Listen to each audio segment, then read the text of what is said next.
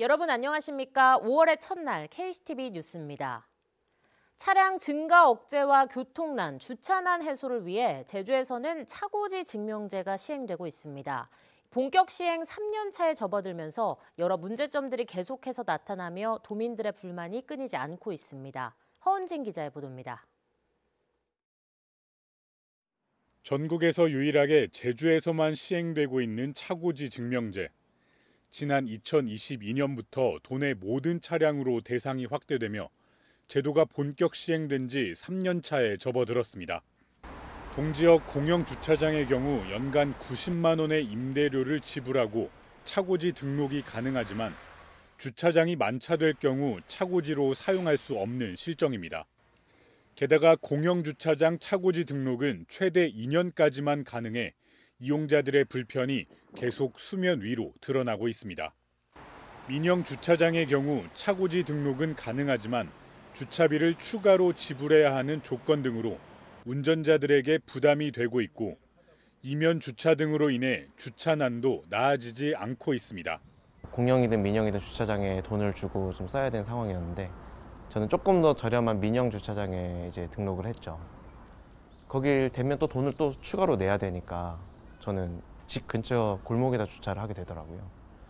또 최근 제주도 온라인 신문고에는 차량을 상속받아 처분해야 하지만 차고지가 없어 재산권 행사에 제약을 받고 있다며 상속과 증여를 받는 경우 주택처럼 일시적인 유예 기간이 필요하다는 의견도 제시됐습니다.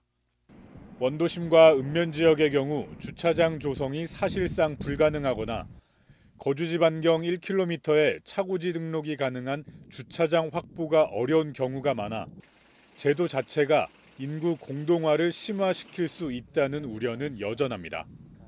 이 같은 상황에 차고지 증명이 필요 없는 다른 지역에서 등록한 차량의 제주 반입과 장기 렌터카 또는 리스 차량도 증가하고 있는 것으로 추정되면서 차고지 증명제의 차량 억제 목적이 퇴색되고 있습니다. 특히 지난해에는 차고지 증명제를 이행하지 않은 차량 343건에 대해 과태료가 부과됐지만 80%가 넘는 277건이 납부하지 않은 것으로 나타나면서 불완전한 차고지 증명제를 반증하고 있습니다.